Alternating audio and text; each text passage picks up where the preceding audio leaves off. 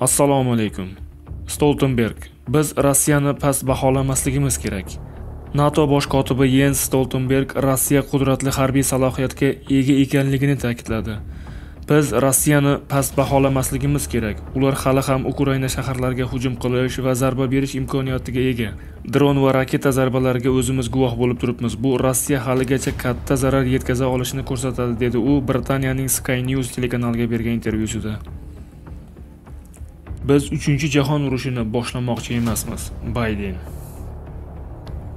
Amerika qo'shma shtatlari ma'muriyati ukraina rasmiylarining barcha so'rovlarini bajarmayapti va ukraina uzra uchish taqiqlangan hudud yaratishdan shuningdek haymers yalpi raketa tizimlarini uzoq masofali raketalar bilan ta'minlashdan bosh tortdi. Aqsh uchinchi jahon urushini boshlamoqchi emas. Bu haqda kecha 9 noyabr kuni aqsh prezidenti jo bayden oq uyda jurnalistlar savollariga javob bilan aytdi. Undan aqsh ukrainaga doimiy asosda yordam berishda davom etadimi degan savol so'raldi. Bu mening taxminlarim. Aytgancha biz ukrainaga kart blansh ya'ni cheksiz vakolatlar to'liq harakat erkinligi bermadik. Biz ukraina uchun ko'p ish qilganimiz yo'q. Biz uchinchi jahon urushini boshlamoqchi emasmiz. Rossiya samolyotlarini urib tushirmoqchi emasmiz. To'g'ridan to'g'ri jangga kirishmoqchi emasmiz deb javob berdi davlat rahbari. Shuningdek u vashington kiyevga haymers yalpi raketa tizimini uchish masofasi 965 kilometrdan oshadigan raketalar bilan ta'minlash niyatida emasligini ta'kidladi. Men ular rossiya hududini bombardimon qilishni boshlashlarini xohlamayman deb qo'shimcha qildi bayden. Prezident ukraina o'zini himoya qilish uchun vositalar bilan ta'minlanishini aytdi. Biz ularga ya'ni ukrainaga o'zlarini himoya qilishlari uchun barcha oqilona vositalarni beramizmi? Ha biz ular o'zlarini himoya qila olishlariga ishonch hosil qilishni xohlaymiz. Juda ko'p narsa xavf ostida deydi prezident.